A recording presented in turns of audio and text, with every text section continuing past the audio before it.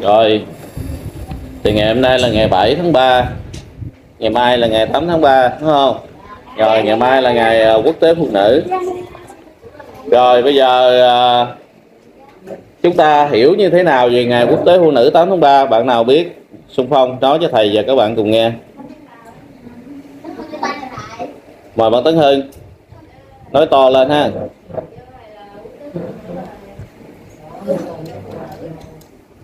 Sao chứ? Quốc tế phụ nữ là nhường hết cho phụ nữ. Các bạn trả lời vậy á. Quốc tế phụ nữ là nhường hết cho phụ nữ. Tức là cái gì cũng nhường cho phụ nữ. Ăn uống hay tất cả cái gì đều nhường cho phụ nữ, đúng không? Rồi, cái đó là bà lý, ý duyên của bạn Tấn Hưng. Còn bạn Tài thì sao? Thầy đang hỏi đây là thầy chưa có hỏi gì tới cái đó thầy hỏi ý nghĩa của ngày quốc tế phụ nữ à, chúng ta hiểu được cái gì về ý nghĩa của ngày quốc tế phụ nữ hay là nguồn gốc của quốc tế phụ nữ như thế nào? Thì hỏi mấy cái đó thôi. Chúng ta mấy bạn trên đây không có bị chúng ta ngồi trật tự. Ừ.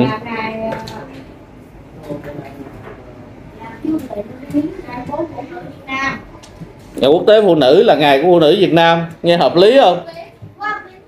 Không ngày quốc tế phụ nữ là ngày quốc tế phụ nữ còn ngày phụ nữ Việt Nam là ngày 20 tháng 10 là ngày phụ nữ Việt Nam còn quốc tế phụ nữ là ngày quốc tế phụ nữ chứ đâu có quốc tế phụ nữ là ngày của phụ nữ Việt Nam. Ngày quốc tế phụ nữ là ngày của phụ nữ quốc tế.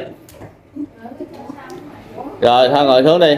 Thôi thầy giờ hỏi mấy câu hỏi nhưng mà thầy thấy ờ, chúng ta chưa có um, rõ được ha.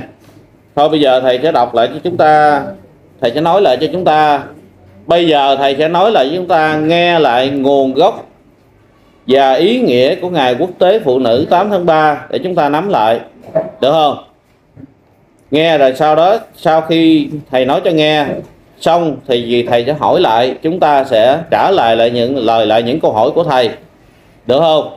Trong cái nội dung mà thầy vừa cho chúng ta nghe thôi. Rất là dễ. Về nguồn gốc và của và ý nghĩa của ngày quốc tế phụ nữ 8 tháng 3 thì lịch sử ngày 8 tháng 3 bắt đầu từ phong trào của nữ công nhân ngành dệt nước Mỹ vào cuối thế kỷ thứ 19.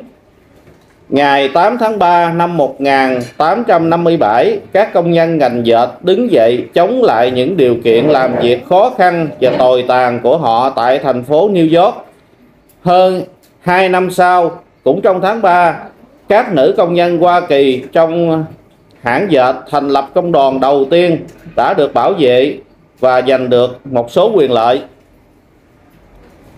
Khoảng 50 năm sau, ngày 8 tháng 3 năm 1908, 15.000 phụ nữ diễu hành trên các đường phố New York đòi tăng lương, giảm giờ là giảm giờ làm việc và hủy bỏ việc bắt trẻ con làm việc. Sau đó, Đảng Xã hội Hoa Kỳ tuyên bố Ngày Quốc tế Phụ nữ là ngày 28 tháng 2 năm 1909. Tuy nhiên, đến ngày 8 tháng 3 năm 1910, tại Hội nghị Phụ nữ do quốc tế thứ hai là Quốc tế Xã hội Chủ nghĩa tổ chức 100 đại biểu phụ nữ thuộc 17 nước đòi quyền bầu cử cho phụ nữ. Chủ tịch hội là bà Lara Zetkin, phụ nữ Đức, đã đề nghị chọn một ngày quốc tế phụ nữ để nhớ ơn những người phụ nữ đấu tranh trên toàn thế giới. Hội nghị đã quyết định chọn ngày 8 tháng 3 làm ngày quốc tế phụ nữ, ngày đoàn kết đấu tranh của phụ nữ với những khẩu hiệu ngày làm việc ngày làm việc 8 giờ, việc làm ngang nhau, bảo vệ bà mẹ và trẻ em. Từ đó, ngày 8 tháng 3 hàng năm trở thành ngày đấu tranh chung của phụ nữ lao động trên toàn thế giới là biểu dương ý chí đấu tranh của phụ nữ khắp nơi trên thế giới. Đấu tranh vì độc lập dân tộc, dân chủ, hòa bình và tiến bộ xã hội vì quyền lợi và hạnh phúc của phụ nữ và nhi đồng.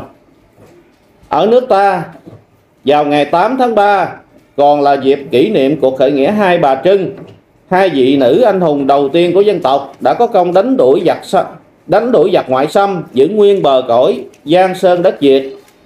Mùa xuân năm 40 hai bà Trưng đã phất cờ khởi nghĩa và nhận được sự hưởng ứng nhiệt liệt của các lạc hầu, lạc tướng, của những người yêu nước ở khắp các thị quận và đông đảo lực lượng phụ nữ tham gia khi khởi nghĩa. Về ý nghĩa của Ngày Quốc tế Phụ nữ 8 tháng 3,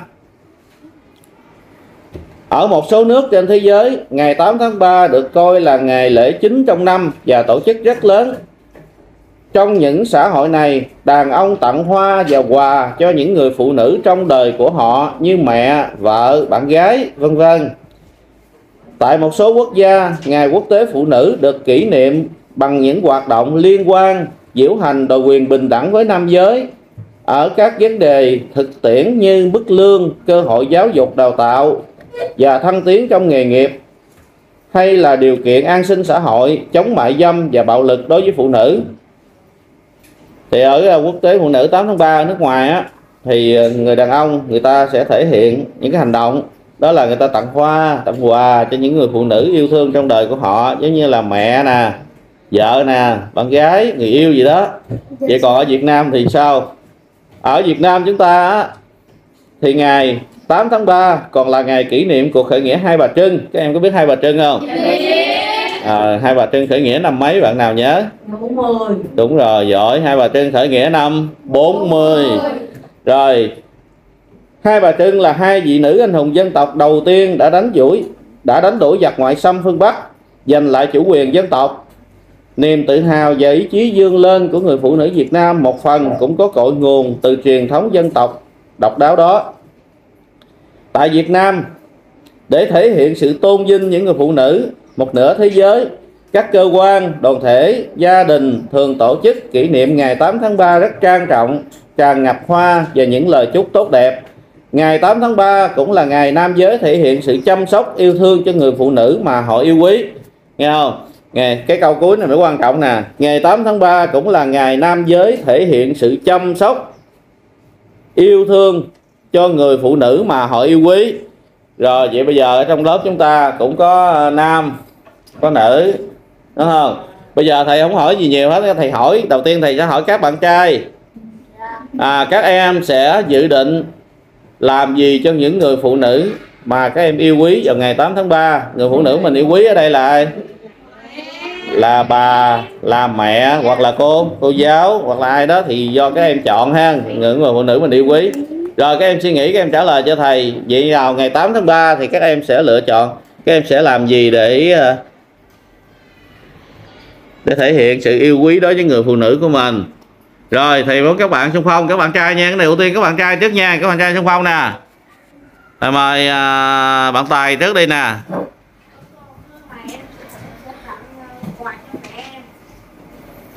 Em nói lại đi.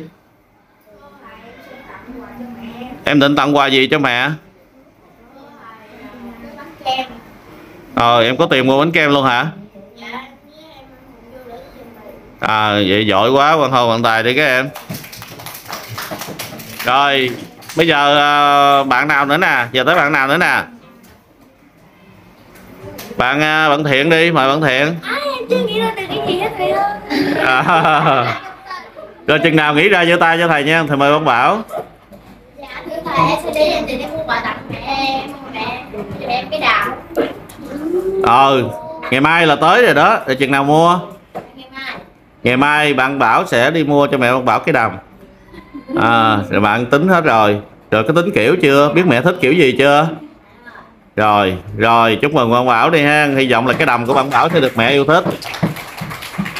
Rồi để uh, thầy hỏi một uh, người uh, đàn ông rất giỏi giang trong lớp chúng ta mới giành được cái huy chương hồi sáng này. Mời uh, bạn long. Bạn long.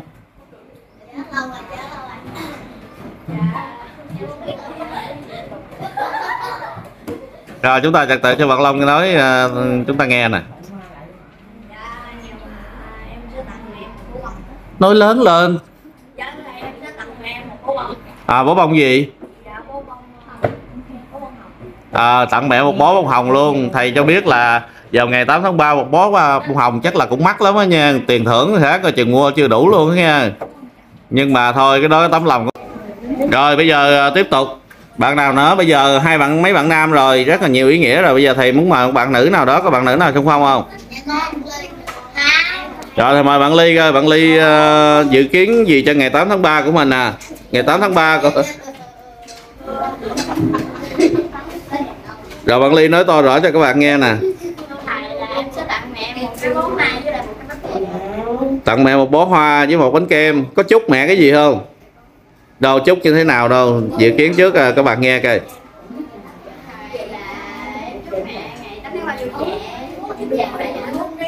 Em chúc mẹ ngày 8 tháng 3 vui vẻ tràn đầy hạnh phúc.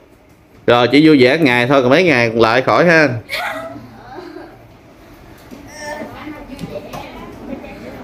Thôi thầy ghẹo bạn thôi chứ chúc như vậy cũng rất là tốt rồi đúng không các em rồi có bạn nào nữa không? Rồi rồi được mời cái người mà sáng ờ, dành tới hai cái quy chương, một quy chương vàng, một quy chương bạc nè. Mời phương vi mời phương vi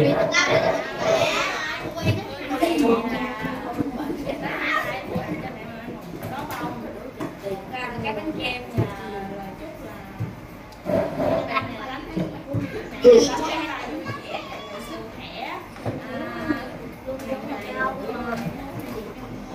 kem là hạnh phúc. Con nhau à, bạn chúc dài lắm. Bạn à, tặng mẹ một cái bó bông một cái bánh kem kèm với lời chúc là chúc mẹ 8 tháng 3 vui vẻ tràn đầy hạnh phúc mãi mãi hạnh phúc. Vậy đó. Dài lắm. À, tràn đầy sức khỏe mãi mãi hạnh phúc. Rồi thôi vỗ tay chúc mừng bạn đi.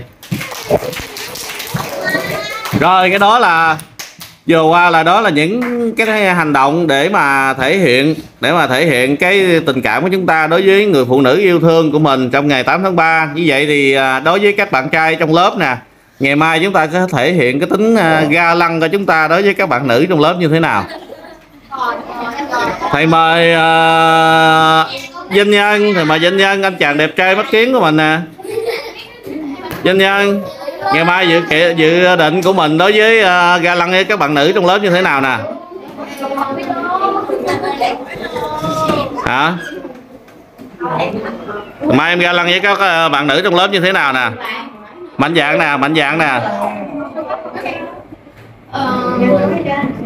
Mạnh dạng nói to rõ nè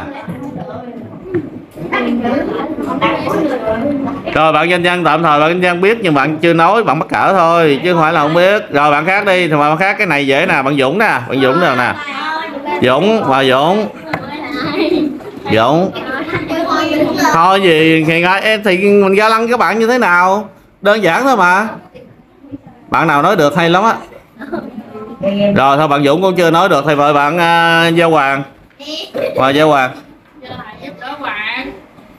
à, à, giúp đỡ như thế nào nè? Nè chúng ta giữ trật tự cho bạn nói chúng ta nghe nè chúng ta nói ồn quá sao được?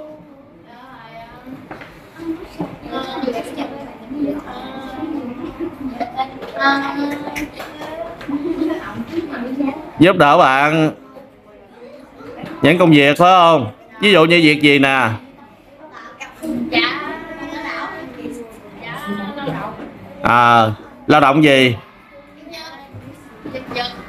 À, đó cũng là một hành động rất là tốt rất ý nghĩa đó. Vỗ tay quân hô bạn đi. Dễ mà đúng không? Vỗ tay đàng hoàng nè vỗ tay cho ngon lành lên cơ dỗ gì kỳ vậy nè. Trời ơi vỗ tay cho đàng hoàng với dỗ kìa.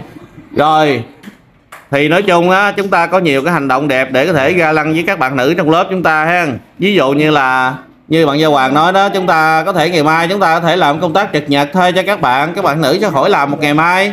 Như là ờ, chúng ta quét lớp lau bảng, dọn dẹp vệ sinh, vân vân. Những cái công việc gì đó thì chúng ta sẽ ờ, sẽ ưu tiên nha. Ưu ưu tiên luôn cho các bạn nữ ngày mai được nghỉ một ngày. Các bạn nam đồng ý không?